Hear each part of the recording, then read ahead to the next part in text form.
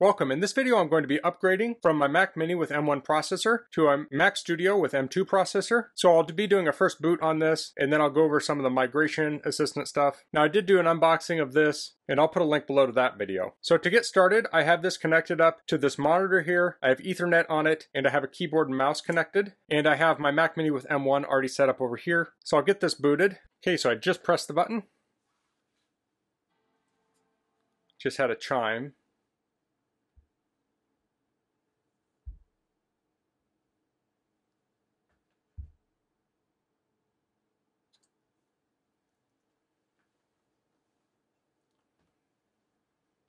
Okay, we have a boot screen. It says hello. I'll hit enter. It wants me to choose a language. To use English as the main language, press the return key. So I'll hit enter.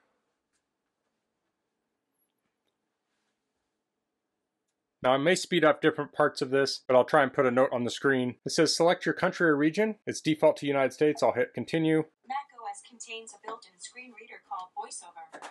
You know how to use voice, has written and spoken languages. I'll use the defaults there. I'll hit continue. Has accessibility. So if you have accessibility issues, you can configure that right away. I'll hit not now. It's asking to join Wi-Fi. I'm already connected to Ethernet, so I'll skip this. Actually, I'll go to other networking options. I'll say local Ethernet. I'll hit continue. And it has options for Ethernet. I'll hit continue here. I'll hit continue again. I didn't have it connected up as data and privacy screen. I'll hit continue. It has migration assistant. Now I like to use migration assistant, but I'm going to skip it for now. It has set up Apple ID. I'll skip that for now also. I'll agree to the terms and conditions. Now it wants me to create a computer account. So when I run Migration Assistant, it will copy over my account from the other computer. That can cause some confusion. So when I set up a new account now, I could use my real name and everything, but I'm going to use a fake name. That way it doesn't cause any conflict when it copies over the account. So I'll just say John Doe and I'll just put a fake password in. Now I used a very simple password. If you're in a place with heightened security, this may not even be a good idea, just temporarily. I feel okay doing this in my house and I'm going to delete this account immediately once I get everything transferred over. But I could be vulnerable in that meantime. So I'll hit continue here.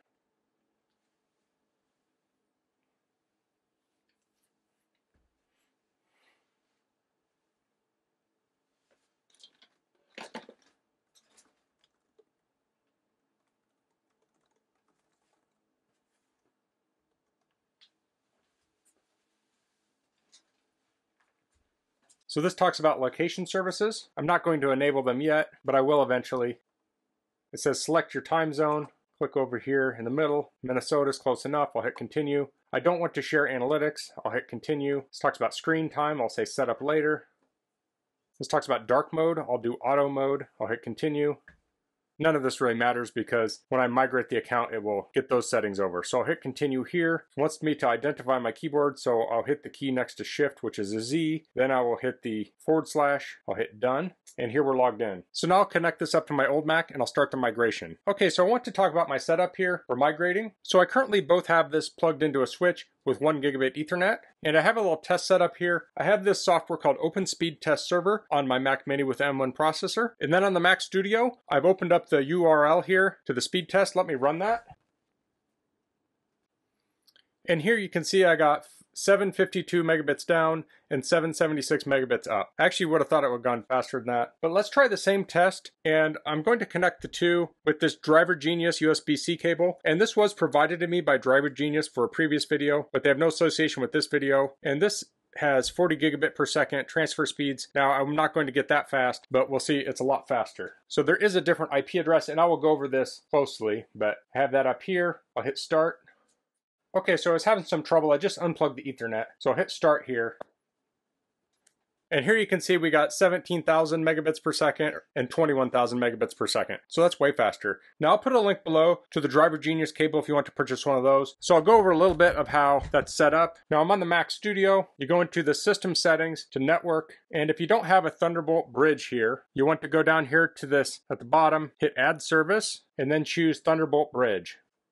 Now, if you're connected to Wi-Fi or Ethernet, you can also go down here to Set Service Order and make sure Thunderbolt is at the top. It can also help to just disconnect either of those two. So you want to do that on both computers. Now, if you want to see the IP address, you can click on the Thunderbolt bridge and it will tell you the IP address.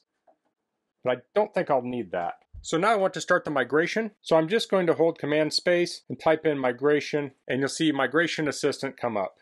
Here talks a little bit about it. It says all other apps will quit when you hit continue, so I'll hit continue here. It wants me to enter in my password.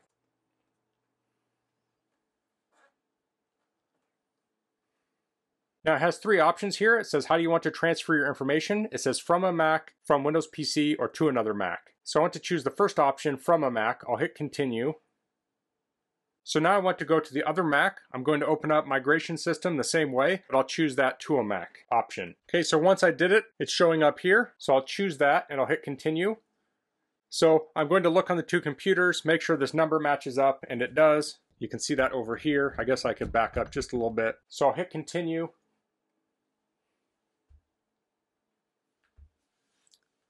Now on the old computer, it's going to look for applications and such to transfer. It says current connection is Thunderbolt, so we have that confirmed. And this has a one terabyte drive in it too, and it's not quite half full. So now we see on the studio, it has a list of things that's asking me what I want to transfer. So everything is checked by default, so I'll hit continue. And now it's asking me to create a password for each account I want to migrate. So I'll do that. Now I have some other admin accounts there. I don't really need those. I may delete them later, but I'll hit continue. And it's giving me that temporary default password. I'll hit continue. Now it's saying to migrate, I need to authenticate with an existing user. So I have that John Doe account. I'll hit authorize. I'll hit OK. And I'll hit continue. So now it's transferring.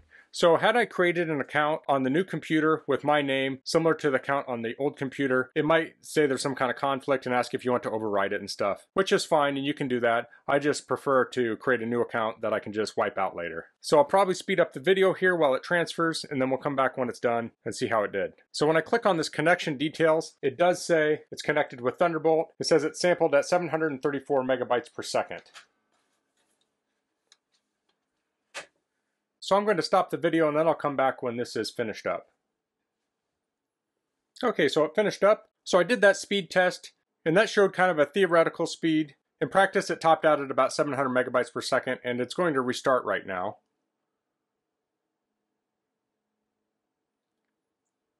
And then the migration will be complete or it may have me do something. Now the old computer, I can hit done and I can log back in on it while the new computer continues booting.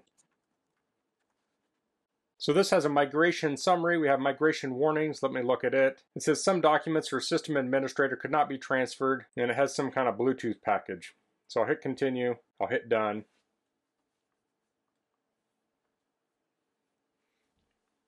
And I can log in. So it does want me to log in with my Apple ID, so I'll do that. Now it's going through iCloud setup. And it looks mostly set up. Let me try and open some software. This is the Affinity software.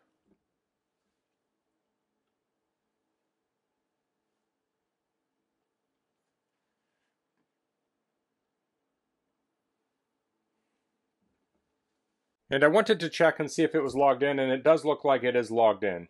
So you may have things like Adobe accounts and such that you'll need to go in and authorize the software and you may need to go on the old computer and deauthorize it. But once you've migrated everything, you do want to go through and check that everything is there. Now I'll say I also do have a backup on the old computer. You may want to start a brand new backup on the new computer. You want to do all that before you wipe the old computer. So that migration took, I think, around 45 minutes. When it first started, it did say it was going to take nine hours, but then it got faster over time. So that's a little overview of upgrading and migrating from my Mac Mini with M1 processor to the Mac Studio with M2 processor. That's all I'm going to cover in this video. If you have any questions, please leave them in the comments. If you like this video, please click like. If you haven't subscribed to my channel, I'd appreciate if you could do that. And thanks for watching. Until next time, goodbye.